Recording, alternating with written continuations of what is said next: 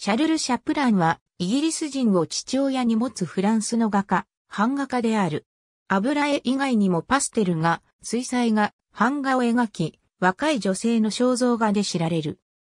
ノルマンディ地域圏、ノール県のレイコールザンドリに生まれた。父親のジョン・チャップリンはイギリス人の美術商で、母親はフランス人であった。生涯をフランスで過ごし、1886年にフランス国籍を得た。1840年からパリ国立高等美術学校で学んだ。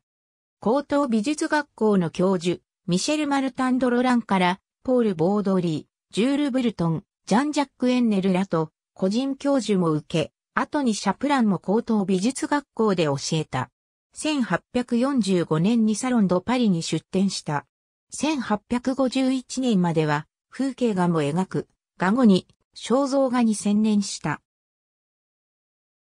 フランス第二帝政の時代に皇帝ナポレオン三世の皇后、ウジェニー・ド・モンティジョから注文を受け、いくつかの絵画やエリゼ宮殿やガルニエ宮、チュイルリー宮殿の装飾を行った。